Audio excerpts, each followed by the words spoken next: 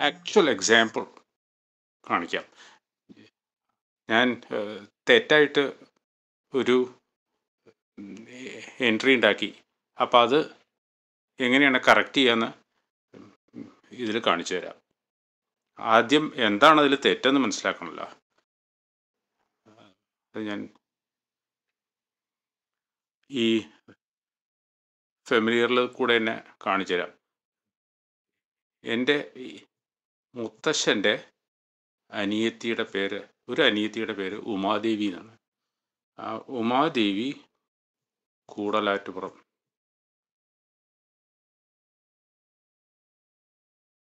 അവർ ആയിരത്തി തൊള്ളായിരത്തി രണ്ടിലാണ് ജനിച്ചത്.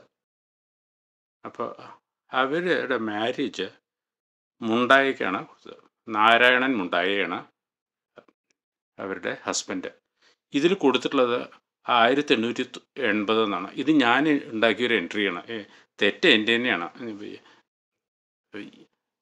ഉമാദേവി കൂടലാറ്റുപുറത്തിന് നാരായണൻ മുണ്ടായി തന്നെയാണ് മാരി ചെയ്തിട്ടുള്ളത്. പക്ഷേ അദ്ദേഹം ആയിരത്തി എണ്ണൂറ്റി എൺപതിലല്ല ജനിച്ചിട്ടുള്ളത്. ആയിരത്തി എണ്ണൂറ്റി എൺപത്തി രണ്ടിലാണ് ജനിച്ചിട്ടുള്ളത്. ഇതിൽ ആലക്കാറ്റൂരെ ശർമ്മൻ ഉണ്ടാക്കിയിട്ടുള്ള ഇൻഫർമേഷൻ നോക്കിയാൽ ആയിരത്തി എണ്ണൂറ്റി എൺപത്തി രണ്ടിൽ ഒരു നാരായണൻ മുണ്ടായ ജനിച്ചിട്ടുണ്ട്. അദ്ദേഹത്തിനെ നോക്കാം നമുക്ക്.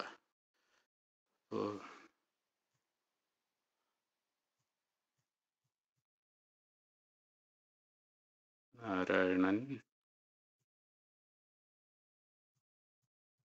മുണ്ടായ.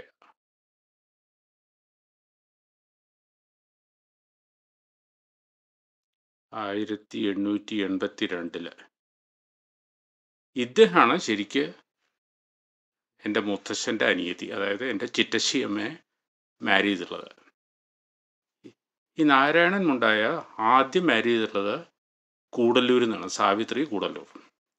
അപ്പോൾ ഈ നാരായണൻ മുണ്ടായ എൺപത്തി രണ്ടിൽ ജനിച്ച ആളുടെ രണ്ടാമത്തെ വിവാഹം കൂടുതലായിട്ട് പുറത്തു നിന്നായിരുന്നു അതായത് എന്റെ ചിറ്റശ്ശിയമ്മ അതാണ് ഞാൻ ചെയ്ത തെറ്റ്. ഞാൻ എന്റെ ചിറ്റശ്ശമ്മയുടെ വിവാഹം ഇതിൽ റെക്കോർഡ് ചെയ്തപ്പോൾ ഈ നാരായണൻ മുണ്ടായിയുടെ റെക്കോർഡ് യൂസ് ചെയ്തതിന് പകരം വേറൊരു നാരായണൻ മുണ്ടായി ഉണ്ടാക്കി അതിൽ മാരേജ് റെക്കോർഡ് ചെയ്തു.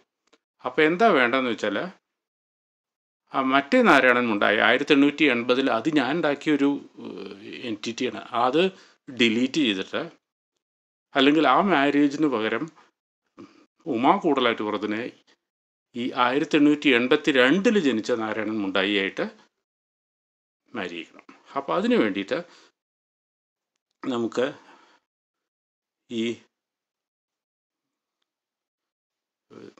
ഇതിൽ ചെയ്യാം. ഇതിൽ പ്രോജക്റ്റിൽ ഫിക്സ് ഉമ ഓക്കെ. അങ്ങനെ മതി.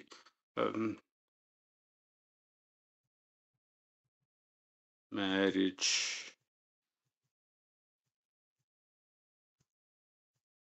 കറക്റ്റ്. കറക്ഷൻ.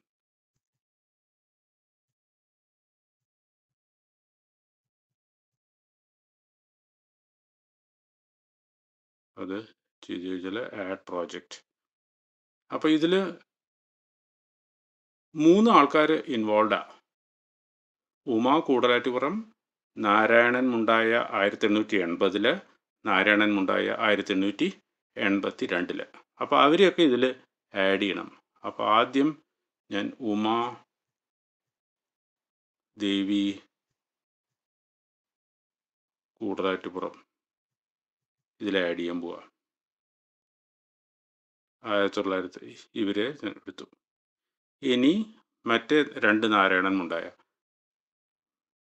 നാരായണൻ.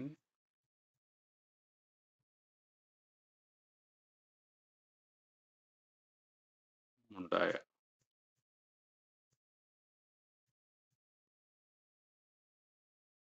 അപ്പോൾ ആയിരത്തി എണ്ണൂറ്റി എൺപതിലത്തെ ആളും വേണം ആയിരത്തി എണ്ണൂറ്റി എൺപത്തിരണ്ടിലത്തെ ആളും വേണം. അപ്പോൾ എൺപതിലത്തെ ആൾ എടുത്തു. ഇനി നാരായണൻ മുണ്ടായ ആയിരത്തി എണ്ണൂറ്റി എൺപത്തി രണ്ടിൽ ഇദ്ദേഹം. അപ്പോൾ മൂന്ന് വ്യക്തികളായി. ഇതിൽ ആവശ്യമുള്ള മൂന്ന് വ്യക്തികളായി. അതിൽ നാരായണൻ മുണ്ടായ എൺപതിൽ ജനിച്ചത് ഉമാദേവി കൂടലാറ്റുപുറം ആയിട്ട് മാരേജ് റെക്കോർഡ് ചെയ്തിട്ടുണ്ട്. ഇതാണ് തെറ്റ്. ഇത് ഞാൻ ചെയ്ത തെറ്റ് തന്നെയാണ്. എന്റെ തന്നെയാണ് തെറ്റ്. അപ്പോൾ ഈ ഉമാദേവി കൂടലാറ്റുപുരത്തിന് ഈ ആദ്യത്തെ നാരായണൻ ഉണ്ടായത് ഇതിൽ കാണാതില്ലേ ഇദ്ദേഹമായിട്ടുള്ള ചെയ്യണം ആയിരത്തി എണ്ണൂറ്റി എൺപത്തിരണ്ടിൽ അതിൽ സിംപിളസ്റ്റ് ഓപ്ഷൻ എന്താണെന്ന് വെച്ചാൽ ഈ മാരേജിൽ അങ്ങോട്ട് പോവാം. അപ്പം ഇതിൽ നാരായണൻ മുണ്ടായ ഉമാദേവി കൂടുതലായിട്ട് കാണിക്കുന്നുണ്ട് അതിന് പകരം ഇതിലത്തെ ഹസ്ബൻഡ് നാരായണൻ മുണ്ടായ എൺപത്തിരണ്ടിൽ ജനിച്ച ആളാക്കുക. അപ്പോൾ ഇദ്ദേഹത്തിനെ സെലക്ട് ചെയ്തു ചേഞ്ച് ഹസ്ബൻഡ് അത്രേ വേണ്ടൂ. തിരിച്ചു വരിക. അപ്പോൾ അതിൽ ഇപ്പോൾ കാണാം. നാരായണൻ മുണ്ടായ എൺപത്തിരണ്ടിൽ ജനിച്ച ആൾ നാരായണൻ കൂടല്ലൂരെ നിന്ന് വിവാഹം ചെയ്തിട്ടുണ്ട്. കൂടലാറ്റൂർന്ന് വിവാഹം ചെയ്തിട്ടുണ്ട്. അത് കഴിഞ്ഞു.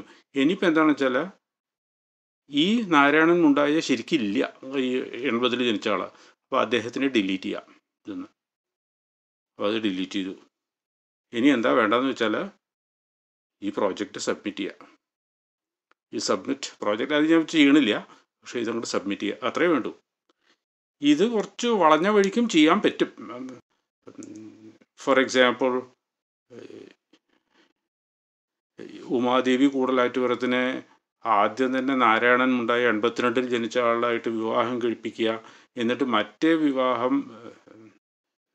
എന്നിട്ട് കുട്ടികളെ മുഴുവൻ അതിലേക്ക് മാറ്റുക ആ മാരേജിലേക്ക് എന്നിട്ട് ഈ വിവാഹം മറ്റേ എൺപതിലത്തെ വിവാഹം ഡിലീറ്റ് ചെയ്യുക എന്നിട്ട് മറ്റേ എൺപതിൽ ജനിച്ച നാരായണൻ മുണ്ടായെ ഡിലീറ്റ് ചെയ്യുക. അങ്ങനെയൊക്കെ പറ്റും. പക്ഷെ അത് രണ്ട് എക്സ്ട്രാ സ്റ്റെപ്പ് ഉണ്ട് അപ്പോൾ അതിന്റെ ആവശ്യമില്ല. ഇത് വളരെ എളുപ്പത്തിൽ കാര്യം കഴിഞ്ഞു. ഇതൊരു ജസ്റ്റ് എക്സാമ്പിൾ എന്ന് മാത്രം. അപ്പോൾ ഇത് സബ്മിറ്റ് ചെയ്ത് കഴിഞ്ഞാൽ ഇവൻച്വലി അത് ഡേറ്റാബേസിലേക്ക് അപ്ഡേറ്റ് ചെയ്ത് കിട്ടും.